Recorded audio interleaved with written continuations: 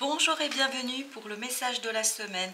Alors vous avez l'impératrice et la tour en entrée de ce tirage. Donc l'impératrice nous parle de faire créer quelque chose, d'élaborer quelque chose, de faire germer une situation, un projet, une relation, en tout cas de bien élaborer quelque chose, de bien imaginer quelque chose, de préparer les plans si vous voulez, de préparer la feuille de route, de préparer ce quelque chose qui va vous donner euh, en fait la direction.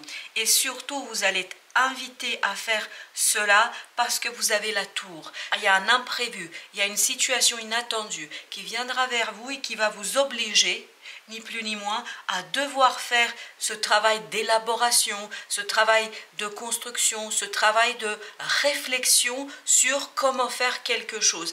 En d'autres mots, je pense, ce sera comment intégrer cet imprévu, cet inattendu dans votre vie, dans votre vie de tous les jours, dans votre vie tout court. Un imprévu qui arrive, qui vous bouscule un peu, mais je ne crois pas que ça va vous bousculer au sens négatif du terme, mais plutôt au sens positif du terme, où vous allez vous mettre en fait à, élaborer une nouvelle stratégie, à élaborer quelque chose pour construire et pour continuer à bâtir une relation, un projet ou quelque chose. Donc c'est plutôt quelque chose qui va vous donner une impulsion, qui va vous pousser vers l'avancement. Ici en défi, vous avez l'étoile et deux bâtons. Donc ici, laissez-vous guider par votre intuition, par votre destinée, par la vie elle-même pour faire le choix. Parce que vous voyez qu'ici, je crois que la tour va vous demander en fait à faire un choix. Parce qu'elle va redistribuer les cartes, elle va redistribuer la situation. Et donc ça va vous demander de vous positionner. Ça va vous demander d'arrêter un choix.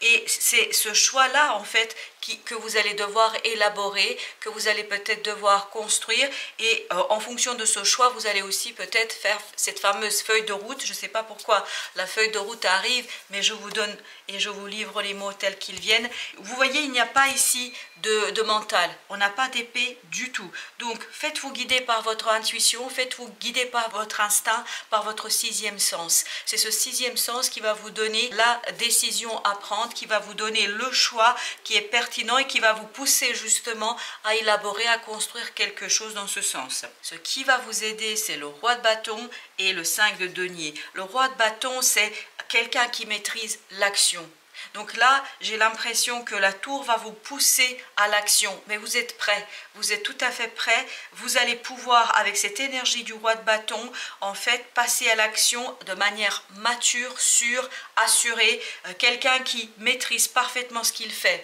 Mais pour que vous puissiez maîtriser parfaitement ce que vous faites, il vous faut euh, cette partie architecte, cette partie je réfléchis avant ce que je dois faire. Et une fois que vous allez passer à l'action, vous allez le faire de manière assurée avec beaucoup de charme et de séduction.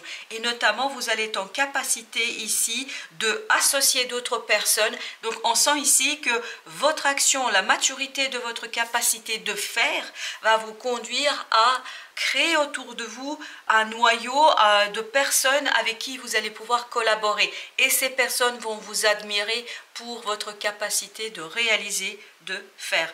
Enfin, tirage, vous avez l'as de bâton et vous avez le chariot. L'as de bâton nous parle d'une nouvelle action. Donc on pose une nouvelle action.